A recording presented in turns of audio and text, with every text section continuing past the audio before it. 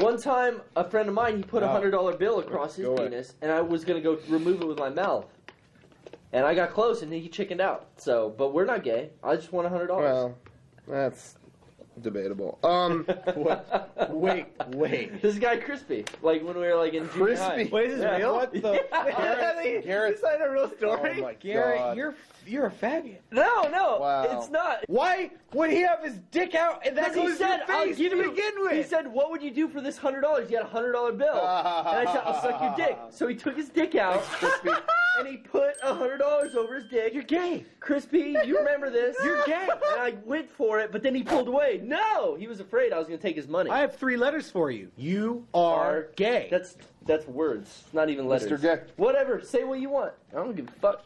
I ain't care. I ain't care. I'm secure in my masculinity. Apparently. he wants me to marry him. He's so even care. secure he could suck a dick for money. That's how straight he is. Yeah. wow, that's- that's, that's pretty, pretty secure. good. Hey, no, hey, no offense to, to gay people, but if you're gay, I want to know. No offense, nothing wrong with gays. There's nothing wrong with that.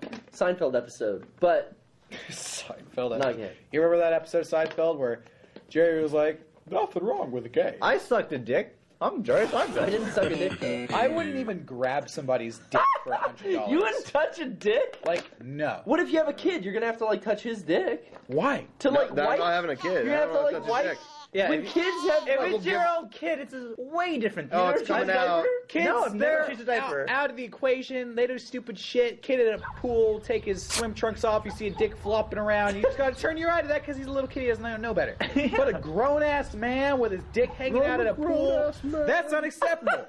Touching a grown ass man's cock in your hands, getting the getting the hand padding, all rubbing that shit. oh Uh-uh. shit. No, no, this is a serious question. Would you get a boner if a guy if a guy grabs your dick? Do you get? I mean, like, because I know when when my penis is touched, I do get a boner, but it's only only girls have done that, mom and dad. So rest assured.